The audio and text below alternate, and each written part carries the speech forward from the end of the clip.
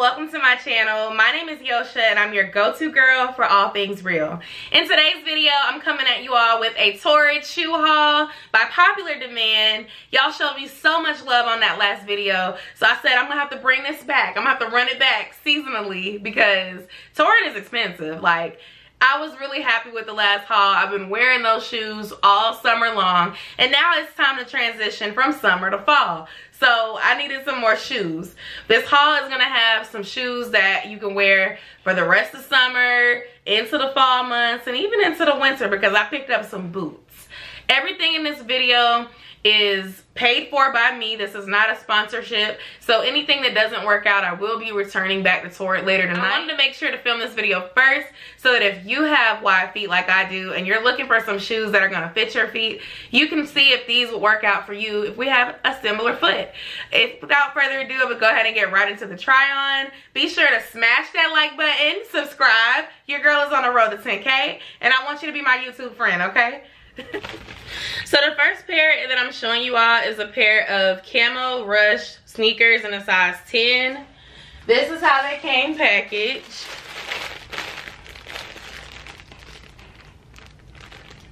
That's what they look like. I thought that these would be really good to wear in the fall months or just casually when running errands. I could literally wear it with something like this or, you know, a green top I thought they were really cute. I'm gonna go ahead and try them on. Gonna get up close and just show you what they look like. It kind of has like that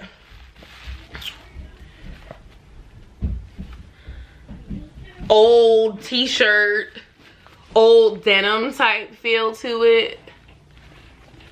Got a stretch, which I've never seen this sort of stretch on a sneaker before.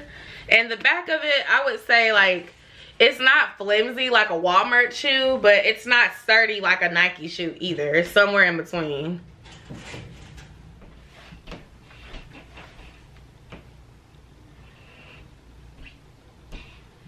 I'm not in love with these. I feel like if I got caught in the rain with these shoes, it would be over for them. So that was the first pair. Let me know what y'all think. I think that they would be cool for casual wear but as far as longevity, I'm not confident about how long these would last because of the way that they're made. So this is, oh wait, y'all y'all got my head, my head cut off. So this is the next pair. Let's get into this detail.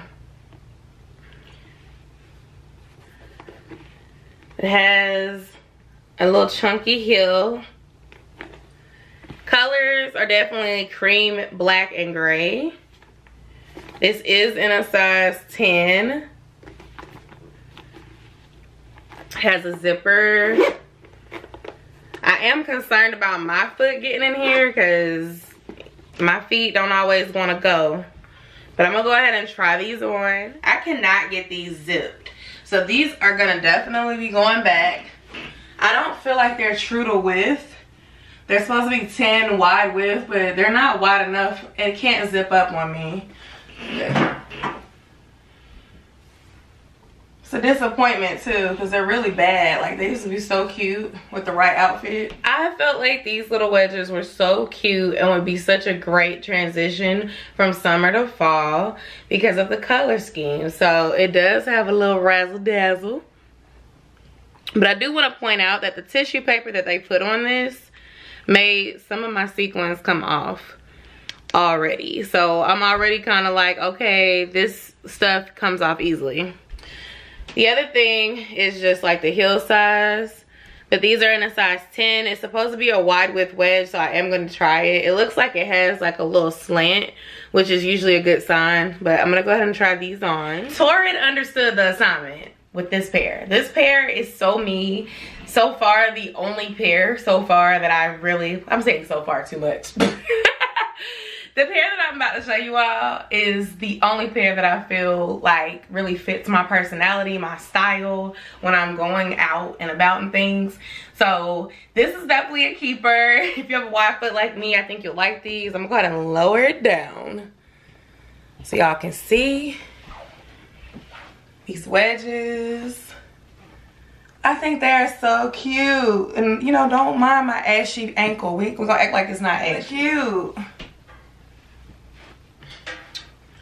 These are cute.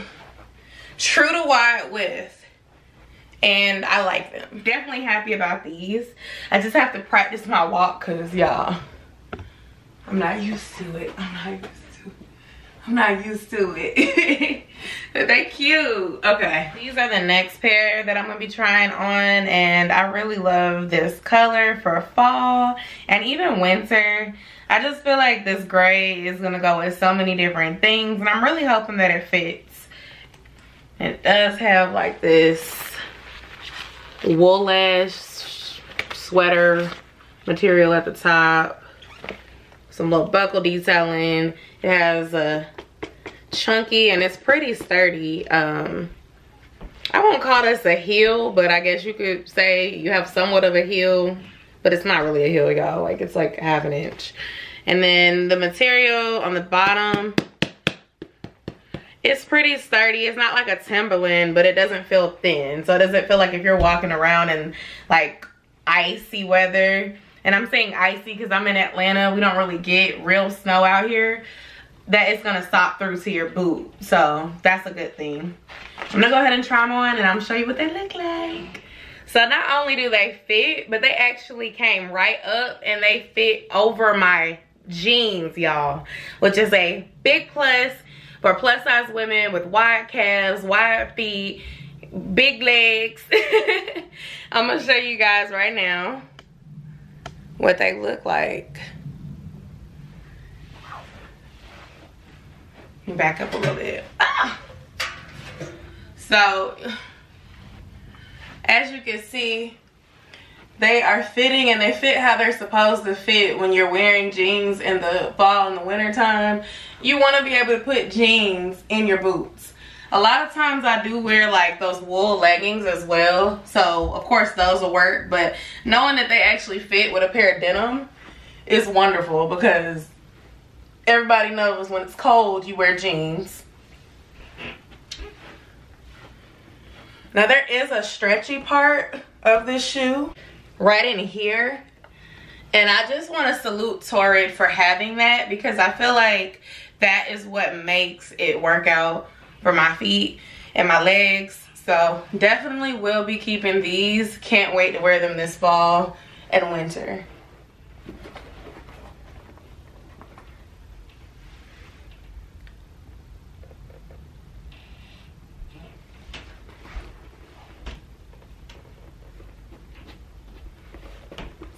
A really like platform style to it. Let's put one down. It's got that stretch built in and then it zips. Now, this boot is kind of hard in comparison to the other one. I feel like this boot could handle some rain, which is really good because, you know, in the fall months, sometimes it rains. Um, and you don't want your shoes getting all, you know how cloth based boots, if it rains, they start to kind of get a mildew like smell or they just get soggy and your socks get wet. I feel like this material is gonna protect you from wet weather, ice, rain, whatever.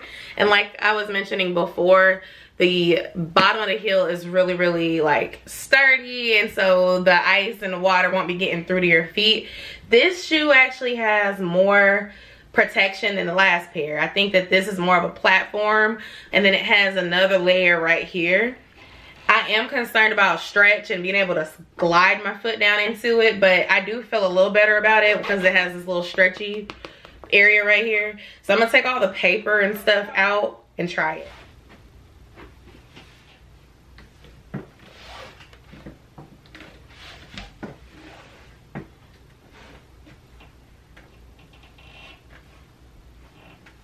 I wanted to come back with my final thoughts about the shoes.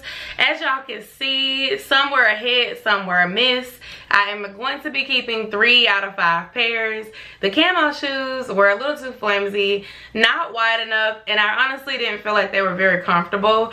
I'm concerned that if I'm wearing those out and it rains, the shoes are gonna be ruined. So for those reasons, I will be returning them.